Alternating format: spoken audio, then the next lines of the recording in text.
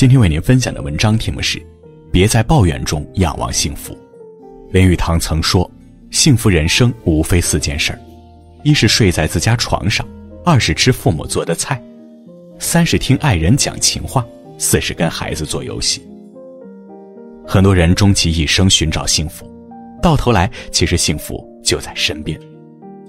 我们总是有这样一种错觉，觉得自己不幸福，看到别人出去玩就抱怨自己总是被工作缠身，没有时间。看到别人事业有成，就心酸自己努力多年依旧一事无成；看到别人家庭美满，就怨恨家人为什么总是不善解人意，总是不满足，总是在抱怨，总是看不到幸福，时常感觉自己被全世界抛弃，时常迷茫，感受不到幸福和爱，时常陷入情绪的黑洞，苛责自己。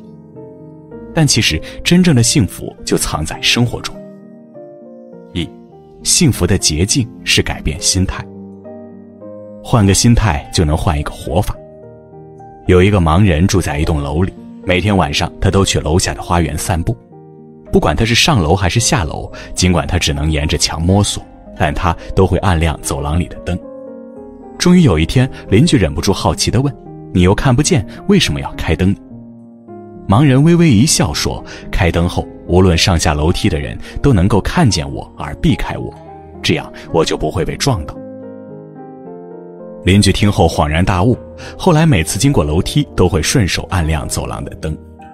有时做人也要像这位盲人一般，不再纠结于开灯的为什么是我。我们总是计较付出能得到多少回报，换一个思路，付出本身就是一种美好。赠人玫瑰，手有余香。幸福就是在赠人玫瑰的过程中留下的一抹香味，馥郁悠长。日积月累汇成幸福的海洋。小时候，我们时常觉得，吃到糖是幸福，成绩得到父母的夸奖是幸福。可长大之后才明白，为了吃到糖去付出劳动是幸福，为了得到夸奖努力学习的过程是幸福。幸福就是我们不再为结果高兴。而是明白付出的过程才是幸福的真谛。换个想法，生活豁然开朗。有心栽花花不开，无心插柳柳才能成荫。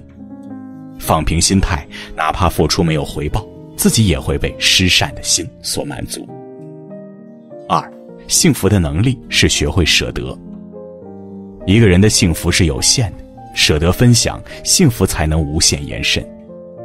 电影《卧虎藏龙》里有这样一句话：“当你紧握双手，里面什么也没有；当你打开双手，世界就在你手中。”独享是一个人的狂欢，无论获得了多么巨大的成功，在缺乏那份外界认可的情况下，感受到的满足感都将大打折扣。在东京奥运会男子跳高决赛中。来自意大利的坦贝里和来自卡塔尔的巴尔西姆，因几次成绩一样，最终选择不加赛，共同分享一枚金牌。在得到场地官员的认可后，坦贝里激动地抱起了巴尔西姆。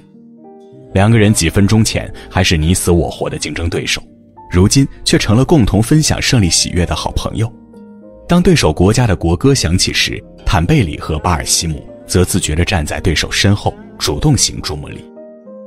正是他们舍弃了独自享受金牌的荣誉，从而得到一份真挚的友谊和双倍的幸福。这一幕注定会成为奥运会最值得回忆的画面之一。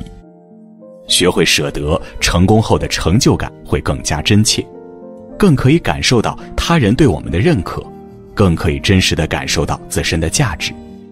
舍得放弃，给欲望减减肥，才能让幸福的天平平衡一些。三。幸福的轮回是心怀感恩，懂得感恩是收获幸福的源泉。懂得感恩，你会发现原来自己周围的一切都是那样的完美。洛杉矶的一家旅馆，三个孩子在餐桌上埋头写着感恩信，这是他们每天必做的功课。细看其中的内容，却是诸如路边的野花开得真漂亮，昨天吃的披萨饼很香。昨天妈妈给我讲了一个很有意思的故事之类的简单语句。原来他们写给妈妈的感谢信，不是专门感谢妈妈给他们帮了多大的忙，而是记录下他们幼小心灵中感觉很幸福的一点一滴。他们也许并不知道什么叫感恩，只知道对于每一件美好的事物都应心存感激。他们感谢母亲辛勤的工作，感谢同伴热心的帮助，感谢兄弟姐妹之间的相互理解。他们对许多理所当然的事儿都怀有一颗感恩的心。同样的半瓶水，有的人会觉得只剩下半瓶，有的人则是感叹竟然还有半瓶。前者总是用悲观的眼光看待事物，不免陷入自怨自艾的漩涡；后者总是用乐观的眼光看待事物，总是容易感受到生活的幸福。而幸福的生活，就是需要有一颗感恩的心来创造。感恩会让生命变得更有力量。张爱玲说：“人总是在接近幸福时倍感幸福，在幸福进行时却患得患失。不必仰望他人的幸福，自己亦有风景。幸福总是在不经意间降临，你需要静静的以一颗平常心去感受，用温柔的态度去面对这个世界。”哪怕是平常的美好，也能够从心底虔诚感谢命运赐予的一切所有。